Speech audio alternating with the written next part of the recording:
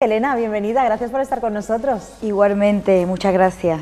Bueno, te vamos a conocer un poquito mejor, aunque yo creo que todo el mundo que nos está viendo ahora mismo ya sabe parte de tu trayectoria porque has tenido un trampolín muy importante, como ha sido el programa de la voz, pero cuéntanos, ¿cómo te introduces tú en el mundo de la música? Porque yo he leído por ahí que antes de hablar tú ya te movías por los escenarios y tú ya sabías lo que querías ser de mayor. Pues la verdad es que sí, la verdad es que desde que, como dije en el programa de la voz, antes de echar los dientes ya empecé a hablar. Ay, perdón, empecé a cantar. empecé a cantar y la verdad es que he cantado desde pequeña, lo que pasa es que, claro, profesionalmente empecé a dedicarme como con 15 años. Sí. Empecé a hacer coro, a otros artistas, empecé a hacer sala, me monté mi, mi pequeña banda y bueno, hasta que mm, un día me decidí, la gente siempre, chiquilla, ¿por qué no, va, no te apunta la voz? Por Dios, que veo mucha gente y siempre veo que tú estás ahí, que podías dar un paso más, avanzar en tu carrera. Y un día me decidí y digo, pues yo voy a llamar y me voy a hacer mi casa. Allá vamos. Allá vamos. ¿Y cómo fue la experiencia? Pues la verdad que muy bonita, muy buena. He conocido compañeros estupendos. Eh, todo el mundo, la verdad que me dio mucho cariño, me arroparon muy bien, la verdad que me, fue una experiencia muy buena. Tú tienes una señal de identidad muy importante, Elena, además eh, llenas el escenario en el momento en el que lo pisas y yo creo que eso es eh, un poco pues tu bandera también de presentación, ¿no? que donde llegas es que es imposible no fijarse en ti y en tu voz y en la manera tan peculiar que tienes de interpretar todo. La verdad es que mm, me ha costado trabajo adquirí un sello propio, porque la verdad es que ya sabemos que el flamenco ahora mismo pues está otra vez floreciendo, está, en auge. Está otra vez, gracias a Dios, porque es nuestra música, no se nos puede olvidar que es la música española, la música que es de nuestro país, de, nuestra tierra, y la verdad que, que gracias a Dios pues he dado con un productor muy bueno, el cual entre él y yo hemos encontrado un equilibrio, hemos hemos encontrado un sello, como tú estás diciendo, y ahí vamos trabajando día a día para que eso no se pierda y para que para tener identidad propia ¿no? a la hora de cantar. ¿Y qué te has encontrado tú en el mundo de la música? Porque has llegado en un momento complicado y sin embargo vemos que tú no dejas de trabajar, que, tienes un montón de proyectos interesantes. Eh, ¿con, qué, te has encontrado tú? La verdad es que mm, empezamos a hacer este disco como hace dos años, ya nos pusimos en serio a seleccionar los temas, a grabar, a todo, y justo pues claro, en enero eh, lanzamos el primer single, que fue Arma Rota, y fíjate tú, la mala pata que a los dos meses llegó esta, vamos que la verdad es que gracias a Dios, con todas las personas que, que han sufrido esta pandemia y todo, pues, no nos podemos quejar en el aspecto de que lo que hay que pedirle a Dios es no ponerse malo. Exactamente. Efectivamente. Y que la tengan los nuestros, eso es lo fundamental. Efectivamente, y que esto pare, pero es verdad que, hombre, a mí pues me ha perjudicado en el sentido de, a ver, no me ha perjudicado porque gracias a Dios todo el mundo ha respondido muy bien a pesar de esta situación y está todo avanzando bien, pero claro, ha sido un momento muy difícil porque, por ejemplo, yo ahora he sacado el disco el día 4 se ha presentado todo contigo y claro, pues no hemos podido hacer un acto oficial de presentación en ningún sitio, ni hemos podido... Hay cosas de las que tenemos que prescindir. Por supuesto. Entonces hay que lidiar con eso, con ese contratiempo, pero bueno, eh, poco a poco esperemos que, que todo vuelva a su sitio y que se pueda Elena, ¿y cómo está siendo el contacto con el público? Porque cuando hablamos con los artistas todos coincidís en que lo más difícil es no tener esos directos, no tener ese, mm, ese cara a cara, ¿no? ese poder charlar tranquilamente, el poder firmar discos, que como tú bien dices, pues hay ciertas cosas que se han tenido que dejar un poco de lado dadas las circunstancias. ¿Cómo lo llevas tú? Hombre, pues es una forma más fría. Yo, por ejemplo, soy una persona que me gusta mucho interactuar con, la, con el público, con la gente, me encanta cantar porque es mi vida, es lo que me mueve. Y no hay más reconfortante para un artista que, por supuesto hacer sus conciertos y que la gente te dé el calor, cariño. Y eso pues está siendo difícil porque claro, mediante las redes tú haces un directo en Instagram, la gente te ha claro, no tiene nada que ver. No es lo mismo. O sea, es una cosa totalmente... Mm, es penoso. Pero bueno, mm, ya te digo que, que, esperamos que para el verano ya esté la vacuna. Sí o por lo menos estemos gran parte vacunados, los aforos vuelvan a, aumentar un poquito en los sitios, que todo vuelva a ser más, más fluido y, podamos volver otra vez a hacer conciertos y tener contacto con, el público. Eso es lo que estamos deseando todos, todos. Y el poderte ver aquí en Córdoba, ¿eh? que tienes que venir. Hoy, en el momento en el que se abra la veda en todos los sentidos, tienes que estar aquí con nosotros. Ojalá. Yo a mí me encanta Córdoba, ¿eh? Yo he estado mucho tiempo, gran parte de mi vida he estado viniendo porque como soy de Sevilla, sí. está muy cerquita. Está cerquita. Y la verdad es que he venido a muchos eventos, tengo muy buenos amigos, muy buenas amigas aquí. De hecho, en mi disco hay una colaboración con Lin Cortés. Sí que es un gran artista de aquí de Córdoba. Sí, por aquí ha pasado varias veces también. Y la verdad que ya te digo que, ojalá, ojalá ahí vengamos pronto. Claro que sí. Elena, hablando de colaboraciones, eso ahora se da mucho también en el mundo de la música, el, que os unáis varios artistas, en tu caso, has mencionado a Lin Cortés, eh, ¿cómo ha sido ese trabajo? Pues la verdad es que nos conocemos desde hace ya unos años y él en, en su disco, pues me pidió una colaboración. Yo le colaboré en un tema que se llama Se fue. Y la verdad es que nos gustó mucho la experiencia porque yo a él lo admiro muchísimo como artista, me gusta mucho. Es un fenómeno. Y, para mi disco, pues claro, yo no podía hacer otra forma que contar con él, porque yo estaba deseando de que él me colaborara. Y nada, nos pusimos en contacto, el tema era el idóneo, porque era el que le, venía a él como anillo ardeo. Y nada, nos pusimos en contacto y grabamos y, ahí surgió todo, todo ese tema, las hechuras de tu cabello. Lo normal que lo cuentas siendo dos artistazos que os habéis unido, ¿eh? y ella lo cuenta pues lo más natural del mundo, así una cosa muy normal, oye.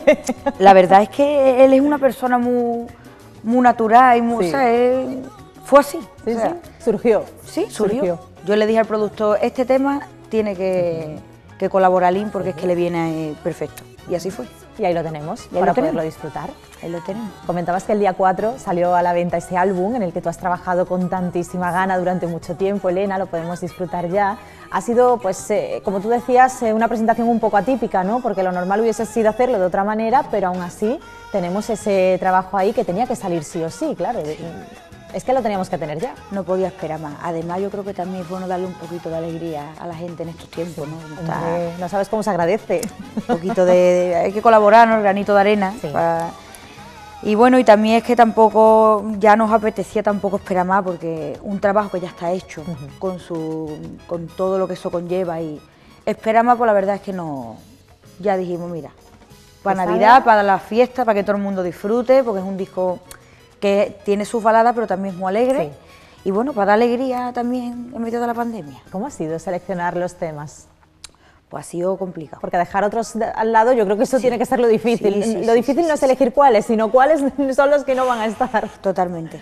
Además había una lista bastante larga de temas, todos maquetados, todo, porque yo me gusta hasta que no oyes todos los temas cantados y, y, tocados, no sabe uno si el tema vale o no vale. O no, claro. Porque eso es así. Y bueno, la verdad es que la selección se hizo dura porque había temas muy buenos, todo era muy bonito, pero bueno, yo creo que había también una vez que ya tienes todo, es fácil seleccionar porque se necesita pues un poquito de, una balada, unos tanguitos más lentos, unas rumbas más alegres, entonces ya se trata, digamos, de colocar. Sí.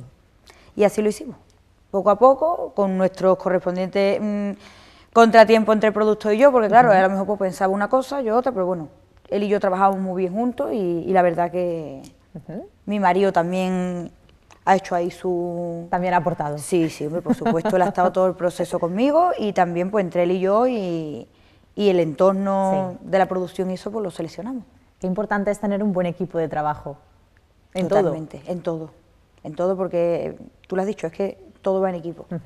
Entre todo, pues cada uno aporta su idea y su grano de arena. Sí. Hemos estado viendo mientras eh, yo estaba hablando contigo imágenes de distintos videoclips tuyos. Cuéntame también cómo es esa faceta de, interpretar lo que tú cantas, porque una cosa es interpretarlo solamente cantando y otra cosa ya es tener que contar la historia de esa manera tan visual como ocurre en los videoclips. Además, los, los tuyos son muy llamativos y cuentan una historia, que es lo bonito, que al final digas, oye, casi una mini película podemos decir.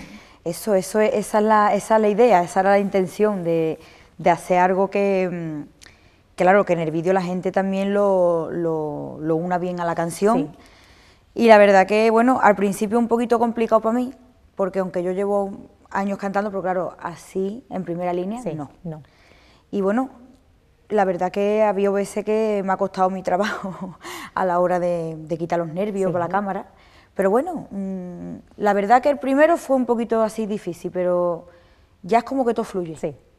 Y ya vas cogiendo, digamos, la práctica, como yo digo, y, y bueno, la verdad que lo he hecho lo mejor que he podido dentro de mi... Lo has hecho fenomenal. De mis posibilidades. Lo has hecho fenomenal. dentro de mis posibilidades, pero bueno, ya te digo que es un trabajo muy bonito. Sí. Porque también he contado con un, con un equipo muy bueno del vídeo, como es del Media, que son fantásticos. Y bueno, Conchita pues ahí me ha ayudado bastante en el guion, en las cosas, entre todos pues hemos formado los vídeos y la verdad que bueno. Además unas ubicaciones fantásticas, ¿eh? Vaya hotelazo te has cogido tú en Marbella, bien que te has ido tú a cualquiera, oye, ahí a los Monteros. La verdad que muy, bien, la atención estupenda y, las instalaciones, yo creo que eran las idóneas para... Perfectas. Para ese vídeo. ¿Qué tienes por delante, Elena? ¿Cómo se plantean ahora estos meses? Eh, ¿Dónde te vamos a ver? ¿Y qué contacto vas a tener también con los fans? Entiendo que las redes sociales ahora mismo son la puerta ¿no? que, tenéis abierta a todos los artistas. 90% ahora mismo. Tenemos previstas entrevistas, programas, eh, como tú bien has dicho, redes sociales. Sobre todo se tira de eso ahora mismo, claro, lo que son galas y eso, pues lo tenemos complicado porque no, ya como te digo, no se puede, es que no se puede. Y más la música que es para bailar. Claro.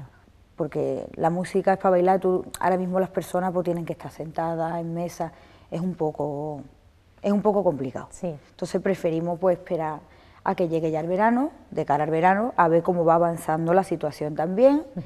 Y bueno, esperemos que avance estupendo y que podamos trabajar como hay que trabajar. Por supuesto, eso es lo que todos deseamos, sin duda alguna.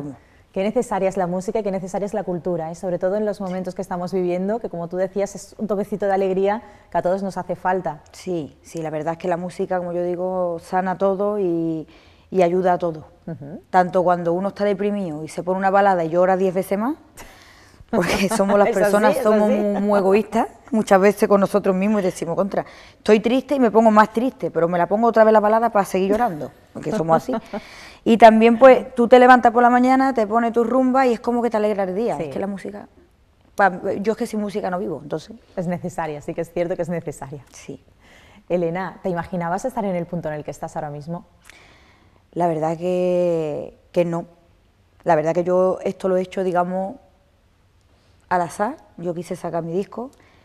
No sabía cómo iba a reaccionar el público, no sabía cómo iba a llegar a la gente y la verdad que está yendo muy bien, más de lo que yo me imaginaba.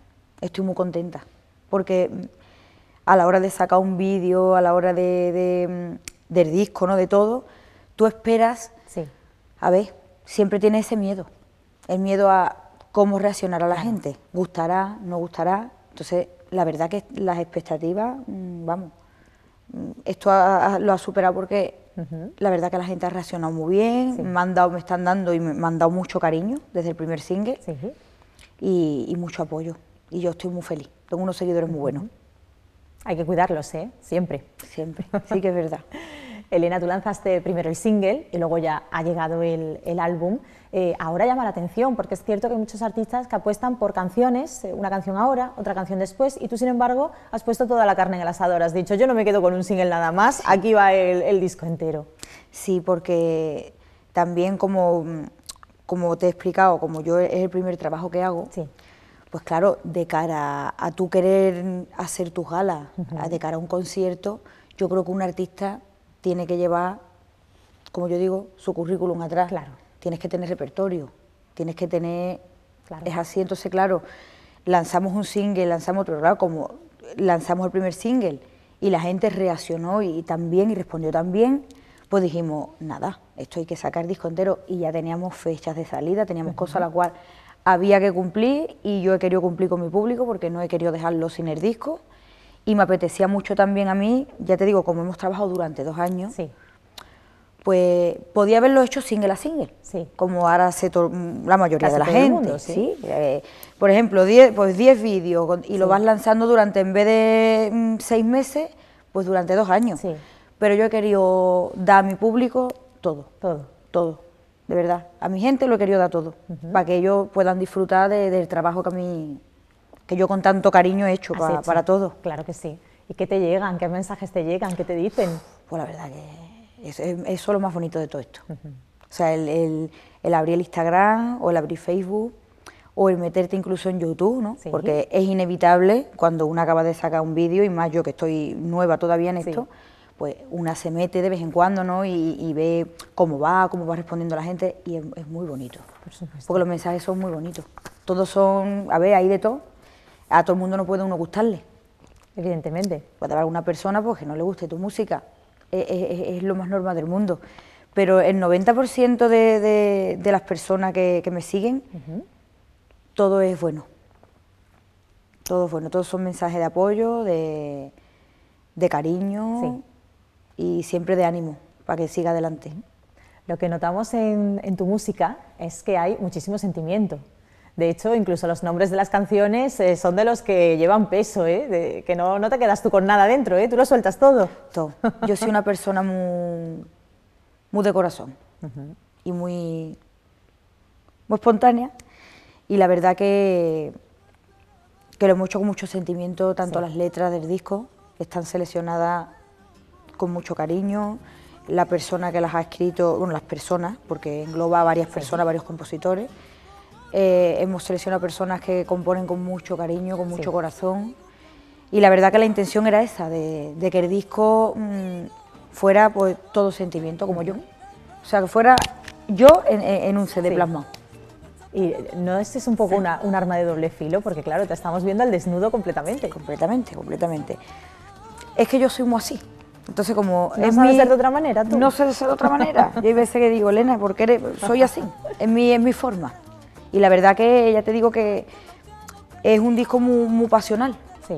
Habla de amor, de desamor, mucho enfocado al desamor. Fíjate, porque no, verás. Mm, las letras que me han gustado precisamente, pues. Hablan de eso. Hablan de eso. Y la verdad que los temas, pues. Ya te digo, sea de amor o de desamor, muy pasionales. Que es lo que no puede faltar. Eso, es lo que no puede faltar, Elena. Pasión y cariño. Pasión y cariño pues nosotros nos vamos a quedar con uno de tus videoclips, que en este caso lo han elegido mis compañeros, tengo que decirte. que esta mañana hemos estado y hemos dicho, queríamos poner todos, pero había que seleccionar uno. Y yo, como no he podido seleccionar, le he dicho a mis compañeros, lo dejo en vuestras manos, así que me van a sorprender, porque no sé cuál habrán elegido de, tus trabajos. Muchísimas gracias por estar con nosotros. Muchas gracias a vosotros. Y que en cuanto puedas eh, llenar eh, el espacio, eh, que todos podamos ir a verte, oye, que allí estaremos, ¿eh? Muchísimas gracias. a Córdoba y que Yo podamos disfrutar de tu música. Encanta, cariño, encanta. Gracias, Elena, por estar con nosotros Muchas esta mañana.